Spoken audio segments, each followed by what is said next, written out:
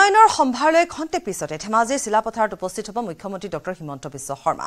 এঘাৰ হাজাৰ আঠশ চৌত্ৰিশজন লোকক ভূমিপট্টা বিতৰণ কাৰ্যসূচীৰ আনুষ্ঠানিকভাৱে মুকলি কৰিব মুখ্যমন্ত্ৰীয়ে। চিচিবৰ গাঁও সমষ্টিত ভূমিপট্টা বিতৰণ কাৰ্যসূচীৰ শুভাৰম্ভণি কৰিব। ইয়াৰ পিছতে মাদুৰী পথাৰৰ লাচিত সমন্বয় ক্ষেত্ৰত উন্মোচন কৰিব লাচিত বৰফুকনৰ প্ৰতিমূৰ্তি। পঁচাশী কোটি টকা আঁচনিৰ শিলান্যাস ভাৰ্চুৱেলি কৰাৰ লগতে জনসভাতো অংশ ল'ব মুখ্যমন্ত্ৰীগৰাকীয়ে ইয়াৰ পিছত ঢকুৱাখানালৈ ৰাওনা হ'ব। আৰু আজি নিশা ব্ৰহ্মপুত্ৰৰ উত্তৰ পাৰৰ কাৰেং চাপৰিত কটাব মুখ্যমন্ত্ৰী। কাইলৈ মাজুলীলৈ কাৰেং মথাউৰিৰ ওপৰত নিৰ্মাণ কৰা পথেৰে বাইক সমদলত অংশ ল'ব মুখ্যমন্ত্ৰীগৰাকীয়ে আগবঢ়াম মন বিকাশ প্ৰতিবেদন। হয় এই মুহূৰ্তত আমি উপস্থিত আছো ধেমাজিৰ চিলাপথাৰৰ মা- বিশেষকৈ মাদুৰী পথাৰত আৰু ৰাজ্যৰ মুখ্যমন্ত্ৰীগৰাকী কিছু সময়ৰ পিছতে যিহেতু ধেমাজি এই চিলাপথাৰৰ বা এই মাদুৰী পথাৰত উপস্থিত হ'বহি আৰু বিয়লি এক বজাত মূলতঃ আচলতে দিনজোৰা বা কাৰ্যসূচীৰে যিটো মুখ্যমন্ত্ৰীগৰাকী এটা বেলা ধেমাজিলৈ আহিব আৰু ধেমাজি চিলাপথাৰত যিহেতু দৈপল যি কমপ্লেক্সত তেওঁ চিচি বৰগাঁও সমষ্টিৰ মিছন বসুন্ধৰাৰ টু পইণ্ট জিৰ'ৰ অধীনত যিসকল খিলঞ্জীয়া লোকক তেওঁ ভূমিপট্টা প্ৰদান কৰিব সমান্তৰালভাৱে তেওঁ আহ, জিলাখনৰ কেইবাটাও আঁচনি বিশেষকৈ প্ৰায় কেইবাখনো আঁচনি তেওঁ শিলান্যাস কৰিব। প্ৰায় পঁচাশী কোটি টকাৰ উন্নয়নৰ আঁচনি তেওঁ ইয়াত আজি আজি শিলান্যাস কৰিব। সমান্তৰালভাৱে ধেমাজি আৱৰ্ত ভৱনত ভৱন আৰু ধেমাজি জলসম্পদ বিভাগৰ জৰিয়তে কেইবাটাও মথাউৰি বা যি নিৰ্মাণৰ কাম যিহেতু শুভাৰম্ভ হ'ব সেই নিৰ্মাণৰ কাম শুভাৰম্ভৰ লগে লগে প্ৰধানমন্ত্ৰী আৱাস যোজনাৰ বা ভালেসংখ্যক গৃহৰ তেওঁ আধাৰশিলা সম্পন্ন কৰিব দৰিপল কমপ্লেক্সৰ পৰা আৰু তাৰ পূৰ্বে মুখ্যমন্ত্ৰীগৰাকীয়ে যিটো লিকা লিকাবালিস্থিত যি আচলতে বাইছ নং অসম আৰক্ষী বেটেলিয়নৰ যি বা তেওঁলোকৰ চৌহদ আছে চৌহদত তেওঁ হেলিকপ্টাৰ যোগে অৱতৰণ কৰিব। সমান্তৰালভাৱে সেই এই পথতে যিহেতু মাদুৰী পথাৰত যিহেতু লাচিত যি সমন্বয় ক্ষেত্ৰ আছে তাতে কিছু সময়ৰ পিছতে তেওঁ মুখ্যমন্ত্ৰীগৰাকীয়ে সেই লাচিতৰ প্ৰতিমূৰ্তি উন্মোচন কৰিব আৰু এই লাচিতৰ আৱক্ষ প্ৰতিমূৰ্তি উন্মোচন কৰাৰ পিছতে মুখ্যমন্ত্ৰীগৰাকীয়ে প্ৰায় ষোল্ল হাজাৰ পৰা সোতৰ হাজাৰ লোকক সম্বোধি দৈপুলৰ কমপ্লেক্সত এখন সভা সম্বোধন কৰিব আৰু পঁচাশী কোটি টকাৰ যি অভিলাষী আঁচনি কেইবাখন আঁচনি আছে সেই আঁচনিসমূহৰ তেওঁ শিলান্যাস কৰিব। আৰু এটা কথা উল্লেখ কৰিব লাগিব যিহেতু আজি এই সভাৰ পিছতে মুখ্যমন্ত্ৰীগৰাকীয়ে ঢকুৱাখানালৈ ৰাওনা হ'ব ঢকুৱাখানাতো মিছন বসুন্ধৰাৰ কে- যিহেতু অধীনত তেওঁ যি আচলতে ভূমিপট্টা বিতৰণ কৰিব আৰু বিশেষকৈ বগীবিলৰ ব্ৰহ্মপুত্ৰৰ উত্তৰ পাৰৰ যি আচলতে কাৰেং চাপৰিত তেওঁ আজি নিশাটো কটাব আৰু অহা কাইলৈ মাজুলীলৈ আহ, মন বিকাশ মুখ্যমন্ত্ৰী মন বিকাশ আপোনাক আহ, ধন্যবাদ জনাম আৰু কিছু সময় পিছতে মুখ্যমন্ত্ৰীগৰাকী তাত উপস্থিত হ'বগৈ। আমি কৈছোৱেই যে ভূমিপট্টা বিতৰণ কাৰ্যসূচীৰ শুভাৰম্ভণি কৰিব মুখ্যমন্ত্ৰীগৰাকীয়ে কৃষক বিদ্ৰোহৰ আজি ট্ৰেক্টৰ সমদলেৰে প্ৰতিবাদী কাৰ্যসূচী। দেশজুৰি কৃষকে ট্ৰেক্টৰেৰে সমদল উলিয়াই সাব্যস্ত কৰিলে প্ৰতিবাদ। ট্ৰেক্টৰ ৰেলীৰ বাবে উত্তৰ প্ৰদেশৰ যমুনা এক্সপ্ৰেছ হাইৱেত সৃষ্টি হৈছে অভাৱনীয় পৰিস্থিতিৰ যমুনা এক্সপ্ৰেছ হাইৱেত শ শ ট্ৰেক্টৰে কৃষকে কৰা যাত্ৰাৰ বাবে আন যান বাহন চলাচল প্ৰায় অচল প্ৰায় হৈ পৰিছে। আৰু তাৰেই পৰিকল্পনা কৰা বুলি কৃষক বিদ্ৰোহৰ নেতাই প্ৰকাশ কৰি ক'লে যে দেশৰ বিভিন্ন প্ৰান্তৰ পৰা অহা ট্ৰেক্টৰ গোট খোৱাৰ পাছত দিল্লী অভিমুখী আটাইকেইটা ৰাষ্ট্ৰীয় ঘাইপথত ৰখাই থোৱা হ'ব যাতে বহিৰাজ্যৰ পৰা দিল্লীলৈ যাতায়াত সম্ভৱ নহয়। ইতিমধ্যে দিল্লী উত্তৰ প্ৰদেশ সীমান্তত দেখা গৈছে সমৰ সদৃশ পৰিৱেশ। এখনো যাতে ট্ৰেক্টৰ ৰাষ্ট্ৰীয় ঘাইপথত উঠিব নোৱাৰে। তাৰ বাবে নিৰাপত্তা বেষ্টনী কটকটীয়া কৰি তোলা হৈছে। দিল্লী সীমান্তত নিয়োজিত কৰা হৈছে নিৰাপত্তাৰক্ষী দেখুৱাইছোঁ আমি। এয়া দিল্লী সীমান্তৰ দৃশ্য দেখুৱাইছোঁ। এফালে নিৰাপত্তাৰক্ষী তাত কটকটীয়া কৰি তোলা হৈছে। দিল্লী নয়দা সীমান্তত নিৰাপত্তাৰক্ষী বাহিনী আছে সষ্টম হৈ আছে। উত্তৰ প্ৰদেশৰ যমুনা এক্সপ্ৰেছ হাইৱেত কিন্তু অভাৱনীয় পৰিস্থিতি। অন্য কোনো বাহন ইফালেদি আহিব পৰা নাই আৰু তেওঁলোকে তাকেই বিচাৰিছে বুলি ইতিমধ্যে উল্লেখ কৰিছে। সকলো বাধা নেওচি দিল্লী অভিমুখে আহি আছে এইসমূহ ট্ৰেক্টৰ। ট্ৰেক্টৰ ৰেলীত বাধা প্ৰদানৰ চেষ্টা আৰক্ষীয়ে চলাইছে। हमने ये कहा संयुक्त मोर्चे ने कि विरोध करने का अपना तरीका है। ट्रैक्टर श्रृंखला ये बनाने का एक प्रोग्राम करा है। दिल्ली की तरफ़ को जाने वाले हाईवे, जो खास करके डिवाइडर हाईवे होंगे, उस पर ट्रैक्टर लगाओ। अब जैसे ये हरिद्वार से दिल्ली हरिद्वार रोड है तो इस पे हरिद्वार, मुजफ्फरनगर, मेरठ और गाजियाबाद के लोग रहेंगे। ऐसे ही मुरादाबाद साइड के हैं अमरोहा हापुड़, गाजियाबाद, ऐसे ही दूसरी साइड के हैं, ऐसे ही हरियाणा में है, रोहतक वाली रोड, ये सारी होगी तो एक नए तरीके का विरोध प्रदर्शन करने का ये प्रोग्राम बनाया, जिससे सरकारें बात सुने সপ্তমবাৰৰ বাবে ইডিৰ চমন অগ্ৰাহ্য কৰিলে। দিল্লীৰ মুখ্যমন্ত্ৰী অৰবিন্দ কেজৰিৱালে।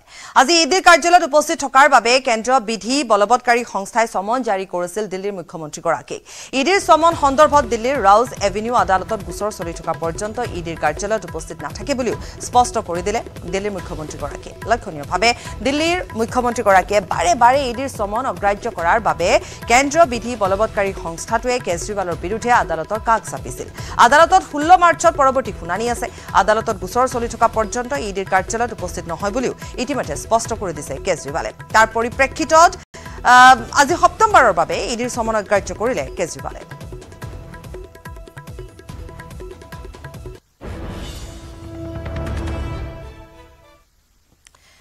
ৰাজ্যত মুছলিম বিবাহ বিচ্ছেদ পঞ্জীয়ন আইন বাতিল হোৱাৰ সময়তে কৰিমগঞ্জত ধৰ্মান্তকৰণৰ ঘটনা।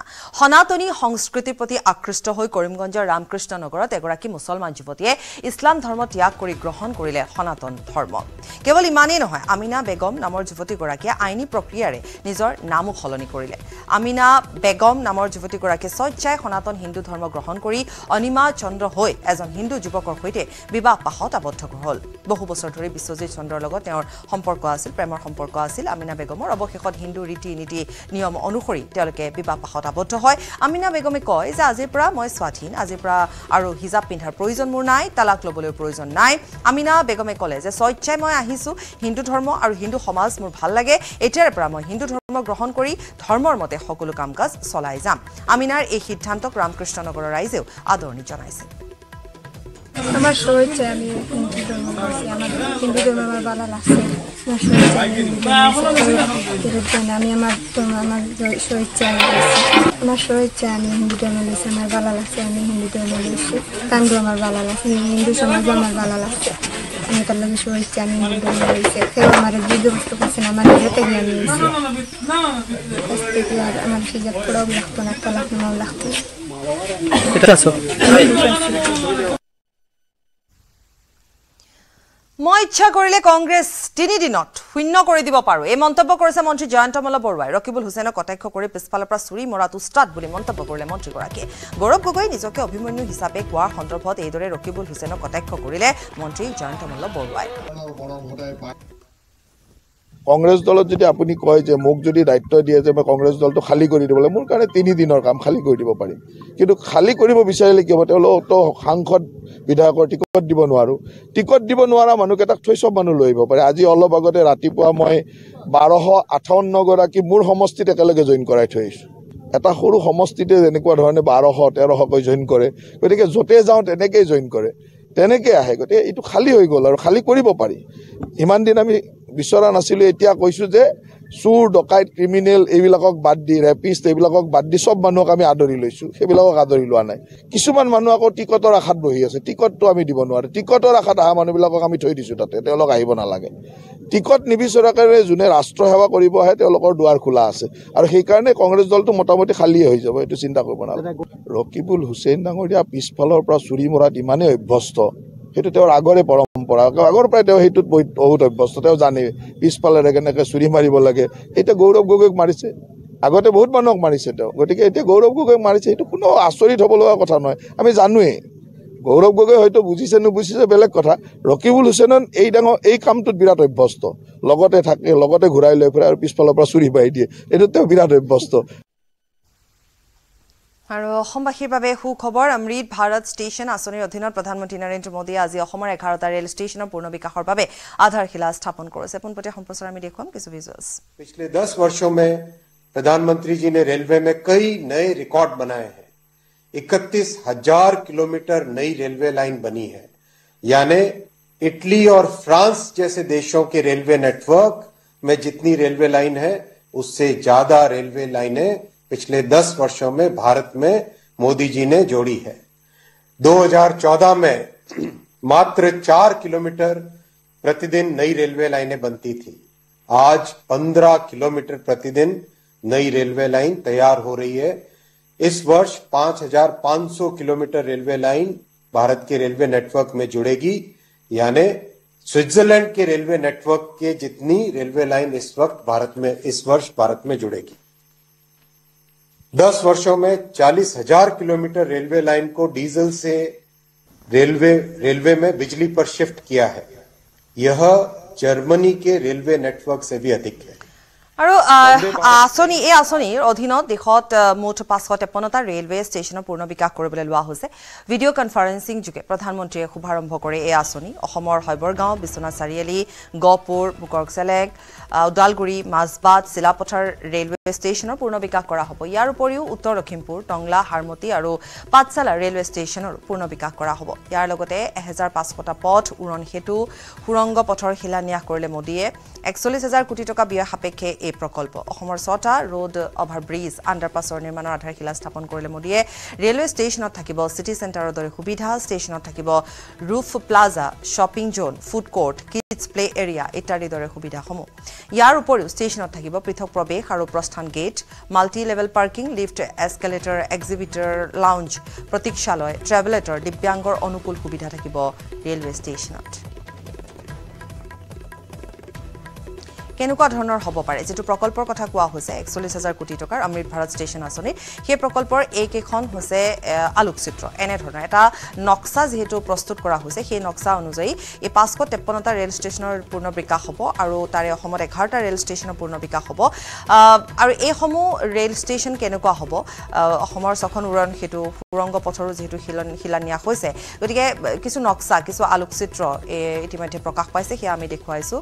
এক্সিকিউটিভ লাউঞ্জ থাকিব। প্ৰতীক্ষালয়ৰ সুব্যৱস্থা থাকিব ইয়াত। তাৰ উপৰিও যিহেতু সকলোখিনি সুব্যৱস্থা থাকিব একচল্লিছ হাজাৰ কোটি টকা ব্যয় সাপেক্ষে এই প্ৰকল্পটো যিহেতু লোৱা হৈছে গতিকে পৃথক প্ৰৱেশ আৰু পৃথক প্ৰস্থান গেট থাকিব। ঠিক তেনেধৰণে মাল্টি লেভেল পাৰ্কিং লিফ্ট এক্সিলেটৰৰ ব্যৱস্থা থাকিব। প্ৰতীক্ষালয়ৰ সু সুব্যৱস্থা থাকিব আৰু এক্সিকিউটিভ লাউঞ্জ থাকিব। খুব সুন্দৰ এক ব্যৱস্থাপনাৰ মাজেৰে এই প্ৰকল্প উন্মোচন কৰা হৈছে। পোনে পোনে গৈছোঁ।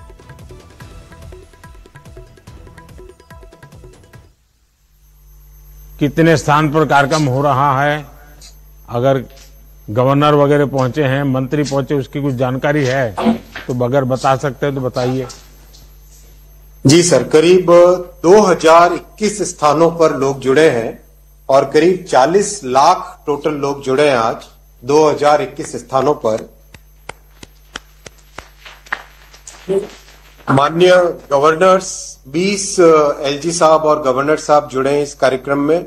माननीय मुख्यमंत्री गण 11 स्थानों पर जुड़े हैं 11 राज्यों में।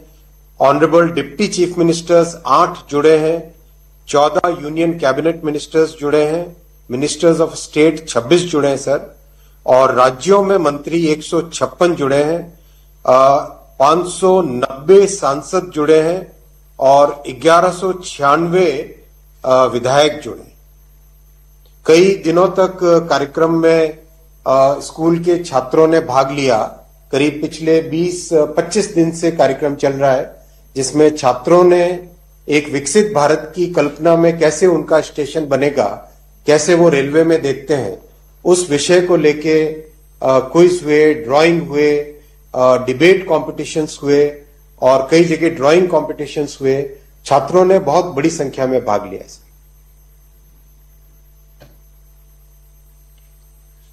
आदरणीय प्रधानमंत्री जी ভাৰতৰ গৌৰৱ গোটেই বিশ্বতেই ইয়াৰ সন্মান ষ্ট্ৰং মানে মাইথান ষ্টীল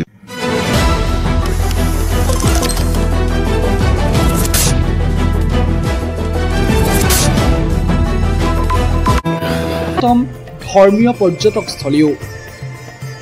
অংকুৰ চেতিয়াৰ report local eighteen Guwahati.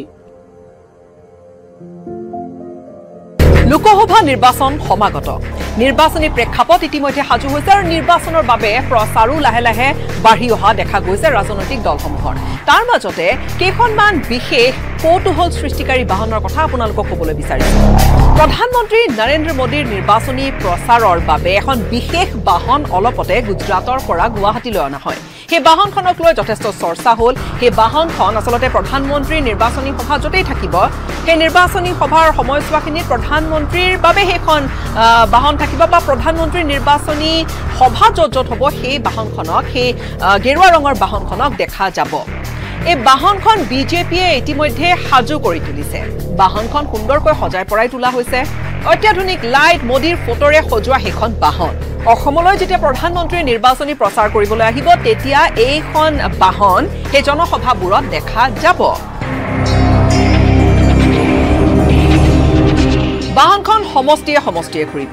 কিন্তু এইবাৰ প্ৰধানমন্ত্ৰী নৰেন্দ্ৰ মোদীৰ সেই বিশেষ বাহনখনৰ পিছত এইবাৰ আপোনালোকক ক'বলৈ বিচাৰিছো বদৰুদ্দিন আজমলৰ এ আই ডি এফ প্ৰধানগৰাকীৰ এখন বিশেষ বাহনৰ কথা।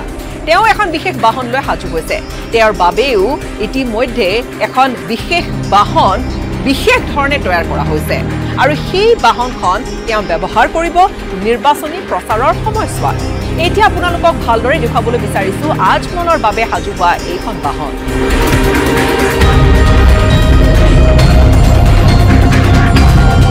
গোৱালপাৰাৰ মাজমজিয়াত দেখা গ'ল এই বাহনখন আৰু বাহনখনক কেন্দ্ৰ কৰি সৃষ্টি হ'ল যথেষ্ট কৌতূহলৰ। পিছে এনেকুৱা কি আছে এই বাহনখনৰ ভিতৰত?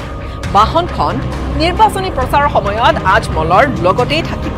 বৰ্তমানেও ধুবুৰী লোকসভা সমষ্টিৰ বাবে যি যি ঠাইলৈ গৈছে বদৰুদ্দিন আজমল এই বাহনখনো তেওঁৰ লগতেই গৈছে। আচলতে বাহনখনত আজমলৰ বাবে সাজু কৰা হৈছে এটা বিশেষ শৌচালয়। যিহেতু নিৰ্বাচনী সময়ত অধিকাংশ সময় আজমলে হয়তো সভাই সমিতিয়ে ব্যস্ত থাকিব। সেইবাবে এই এই বাহনখনত নামাজৰ সময়ত সুবিধা নথকা অঞ্চলবোৰত শৌচ প্ৰস্ৰাৱ কৰি হাত মুখ ধুই পবিত্ৰ হ'ব পৰাকৈ সুবিধা সকলোখিনি কৰা হৈছে।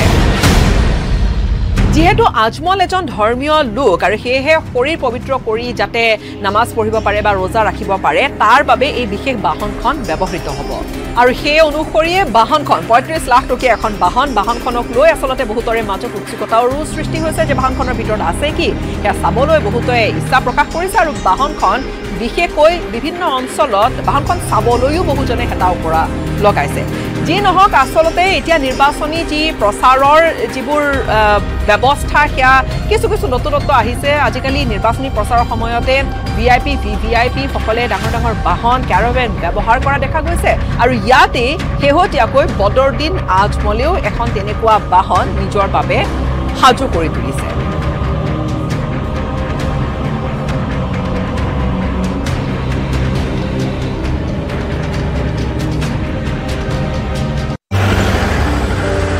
নমস্কাৰ মই বৰ্তমান উপস্থিত আছো যোৰহাটৰ অল্ড চাৰ্কিট হাউচ ৰোডত আৰু সদাব্যস্ত এই পথটোৰ দুয়োকাষে কেইবাখনো ফুড ষ্টল দেখিবলৈ পোৱা যায়। সমীপতে আছে কেইবাখনো চৰকাৰী তথা বেচৰকাৰী শিক্ষানুষ্ঠান লগতে আছে পশু চিকিৎসালয়খনো। আৰু এই সদাব্যস্ত পথটোৰ দুয়োকাষে থকা কেইবাখনো ফুড ষ্টলৰ এখনত আমি আজি আহি উপস্থিত হৈছোহি। তাৰ নাম হৈছে সোৱাদ। আৰু সোৱাদ কিয় বিশেষ? সেই বিষয়ে আমি আজি এই প্ৰতিবেদনৰ জৰিয়তে আপোনালোকক জনাবলৈ চেষ্টা কৰিম। চাকৰি এৰি ব্যৱসায়মুখী হোৱা এগৰাকী মহিলা। যোৰহাটৰ এই মহিলাগৰাকীয়ে এতিয়া দৃষ্টি আকৰ্ষণ কৰিছে সকলোৰে। যোৰহাটৰ অল্ড চাৰ্কিট হাউচ ৰোডত থকা এখন পদপথৰ দোকান নাম সোৱাদ। এই পদপথৰ দোকানখনে এতিয়া দৃষ্টি আকৰ্ষণ কৰিছে যোৰহাটবাসীৰ। এৰ নাম পূৰবী বৰা ঘৰ যোৰহাটত। উচ্চ শিক্ষিতা এইগৰাকী মহিলাই বেংকৰ চাকৰি এৰি আৰম্ভ কৰিছে এক ফাষ্টফুডৰ ব্যৱসায়। উল্লেখযোগ্য যে নিজাববীয়াকৈ কিবা এটা কৰাৰ হেঁপাহ মনত পুহি ৰখা পূৰবীয়ে প্ৰায়ে আকৰ্ষিত হৈছিল স্বনিৰ্ভৰশীল হোৱাৰ দিশটোৰ প্ৰতি। নিজৰ লগতে আনকো সংস্থাপিত কৰাৰ দুৰ্বাৰ হেঁপাহ লৈ এয়া পূৰবী পৰা। বৰ্তমান সময়ত বহু মহিলা ওলাই আহিছে স্বনিৰ্ভৰশীল হোৱাৰ দিশে। উচ্চ শিক্ষাৰে শিক্ষিত হৈও চাকৰি বিচাৰি হাৱা ধৰি খাইছে বহুজনে। বহুজন ভুগিছে হতাশাত। তাৰ মাজতেই পূৰবী বৰাৰ দৰে বহু মহিলাই দেখুৱাইছে কৰ্মসংস্কৃতিৰ নিদৰ্শন। সোৱাদ নামেৰে আৰম্ভ কৰা এই দোকানখনত উপলব্ধ হৈছে চাহ পুৰি পোলাও আদিৰ দৰে বহু মুখৰোচক সামগ্ৰী। সমীপতে থকা কেইবাখনো শিক্ষানুষ্ঠানৰ ছাত্ৰ ছাত্ৰী অফিচ কাছাৰী আদি লোকসকলৰ বাবে কম মূল্যতে আহাৰ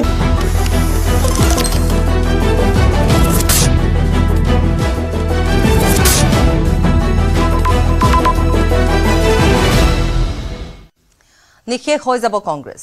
কেৱল মিয়াৰ দল হিচাপে থাকিব কংগ্ৰেছ। কংগ্ৰেছক এইদৰে কটাক্ষ কৰিলে বিজেপি বিধায়ক মানৱ ডেকাই। চাওক আমি আগৰ পৰাই কৈ আছোঁ যে যিকোনো খিলঞ্জীয়া অসমীয়া ভাৰতীয় মূলৰ যিকোনো ব্যক্তি যি পাৰ্টীতে নাথাকক ভৱিষ্যতে ভাৰতীয় জনতা পাৰ্টীৰ কাৰ্যকৰ্তা। গতিকে তাৰ ক্ষেত্ৰত কোনো ব্যতিক্ৰম নহয় কোনোবা আজি কোনোবা কালি। গতিকে ঘটনা ঘটিয়ে থাকিব আৰু কংগ্ৰেছ দল এটা সময়ত কেৱল আপোনাৰ সন্মানীয় মিয়াসকলৰ পাৰ্টি হৈ ৰ'ব। তেওঁলোক খুব ডেডিকেটেড কংগ্ৰেছী গতিকে সেইকাৰণে চি এমে ক'ব পাৰিছে। তেওঁলোক খুব ডেডিকেটেড কংগ্ৰেছী। আৰু সেইকাৰণে চি এমে ক'ব পাৰিছে বাকী যিকোনো খিলঞ্জীয়া অসমীয়া ভাৰতীয় মূলৰ ব্যক্তি যি দলতে নাথাকক ভৱিষ্যতে ভাৰতীয় জনতা পাৰ্টীৰ কাৰ্যকৰ্তা বিৰোধী থাকিব চি এমে যি ধৰণৰ ব্যক্তিৰ নাম উল্লেখ কৰিছে সেই ধৰণৰ ব্যক্তিৰ মাজত থাকিব সেই ধৰণৰ অঞ্চলত থাকিব। কিন্তু আমাৰ খিলঞ্জীয়া লোকৰ মাজত কংগ্ৰেছ দল নাথাকে। মই বিৰোধী বুলি নকওঁ কংগ্ৰেছ দল নাথাকে। মই আশা কৰোঁ যে দেৱব্ৰত শইকীয়া জন্মদাতা মাতৃ হওক বা ভাৰত মাতৃ দুয়োৰে কথা শুনিব। বিজেপি নেতাই কংগ্ৰেছ নিষেধ হ'ব বুলি দাবী কৰাৰ সময়তে বিজেপিৰ পদত্যাগ কৰিছে। বিজেপিৰ পৰা পদত্যাগ কৰিছে এগৰাকী দলীয় নেতাই। বিজেপিৰ সংবাদ কোষৰ ৰাজ্যিক সদস্য উপেন ৰাজ নামেৰে নাথৰ পদত্যাগ। গুৱাহাটী প্ৰেছ ক্লাবত সংবাদ মেলযোগে প্ৰকাশ কৰিছে দল ত্যাগৰ কথা। অসমত কা আইন জাপি দিয়াৰ বাবে বিজেপি চৰকাৰক লৈ অসন্তুষ্ট উপেন ৰাজ নাথ পদত্যাগ কৰিয়ে বিজেপিয়ে ঘৃণাৰ ৰাজনীতি কৰাৰ অভিযোগ আনিলে উপেন ৰাজ নাথে দুহেজাৰ চৌবিছৰ সাধাৰণ নিৰ্বাচনত শোণিতপুৰ সমষ্টিৰ পৰা নিৰ্বাচনত অৱতীৰ্ণ হ'ব উপেন ৰাজ নাথ যি সময়ছোৱাত দেখিবলৈ পোৱা গৈছে যে কংগ্ৰেছ নিষেধ হ'ব বুলি কোৱা হৈছে বা কংগ্ৰেছৰ পৰা কেইবাগৰাকীও ইতিমধ্যে কংগ্ৰেছ দল ত্যাগ কৰিছে। তেনে সময়তে বিজেপিটো কিন্তু দল ত্যাগ কৰিছে। বিজেপিৰ পৰা পদত্যাগ কৰিছে এগৰাকী দলীয় নেতাই। বিজেপিৰ সংবাদ কোষৰ ৰাজ্যিক সদস্য উপেন ৰাজ নাথে পদত্যাগ কৰিছে। গুৱাহাটী প্ৰেছ ক্লাবত সংবাদ মেল যোগে তেওঁ এই কথা প্ৰকাশ কৰিছে। অসমত কা আইন জাপি দিয়াৰ বাবে বিজেপি চৰকাৰক লৈ তেওঁ অসন্তুষ্ট আৰু পদত্যাগ কৰিয়ে বিজেপিয়ে ঘৃণাৰ ৰাজনীতি কৰিছে বুলিও তেওঁ অভিযোগ আনিছে। দুহেজাৰ চৌবিছৰ সাধাৰণ নিৰ্বাচনত শোণিতপুৰ সমষ্টিৰ পৰা নিৰ্বাচনত অৱতীৰ্ণ হ'ব উপেন ৰাজনাথ। ইয়াৰে সৈতে বাতৰি পৰা বিদায় লৈছো নমস্কাৰ।